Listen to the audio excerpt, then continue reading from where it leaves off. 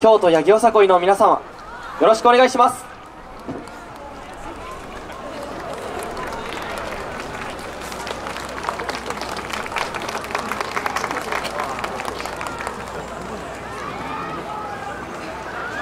皆さんこんにちは。京都八木よさこいです。よさこいのチームとしてえ皆さんに元気と笑顔を与えられたらいいなというふうに思って毎日練習をしています。桜よさこいには15年15回、えー毎年出させていただいてたくさんの皆様から元気をいただいております。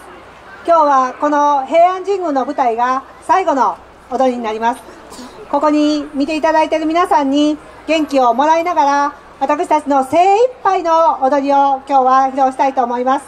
どうか皆さん温かい眼差しでどうか見守っていただきますようによろしくお願いします。元気に踊ります。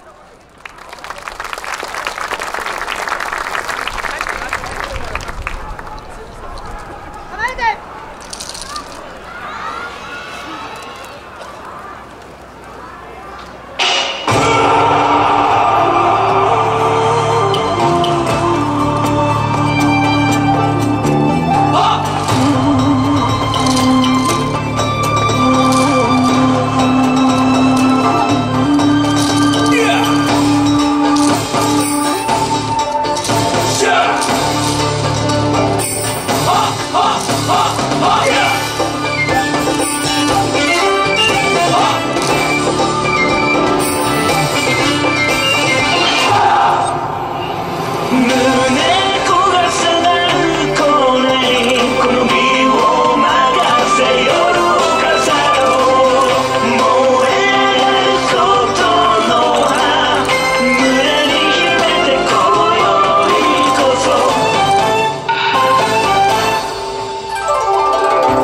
あまねく時を越えせめて咲かせたい。